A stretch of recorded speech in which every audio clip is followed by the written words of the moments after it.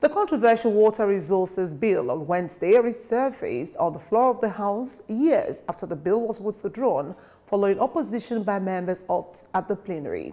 The bill was slated for first reading when the Representative Mark Gbillah raised an observation that the House had thrashed the subject matter, particularly lawmakers from Benue State kicked against the bill. The Water Resources Bill was first introduced in 2017 as an executive bill but did not scale through.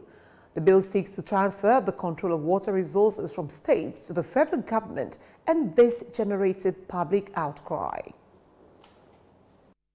National Water Resources Bill generated a lot of controversy within this honorable house and even across the country.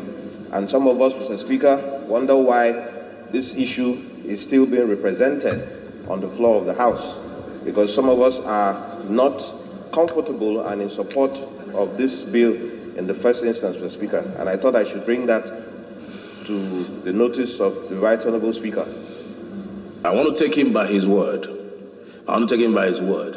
Um, I, I believe that you raise a very cogent point. We live in a diverse uh, country, and everybody's uh, sensitivity must be taken into consideration. But once he has said, uh, which he told me here, that um, all the governors were involved. We'll take it by so. But so it is subject to that. It is subject to the participation of all the governors if they have a buy-in into it.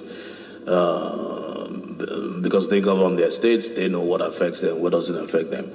And the comment of the Attorney General, which was requested by the Federal Minister of Water Resources, will be attached to the bill. The Attorney General of the different states? The, the Federation all the attorney generals of the, uh, of the states. Of the different states and the federation. Commented on the bill and the federation commented on the bill before they could address some of the issues that were raised on the floor. Let me assure my colleagues on my honor, I will not stand here to see a particular section of this country is shortchanged by a legislation of this country. If that happens, if that happens, Mr. Speaker, I will withdraw the bill in the interest of this country. Sir, I only would like to crave your indulgence and the leave of the House that this is a matter that at this stage has been taken for the first reading. And you have appropriately ruled that we go ahead. Even if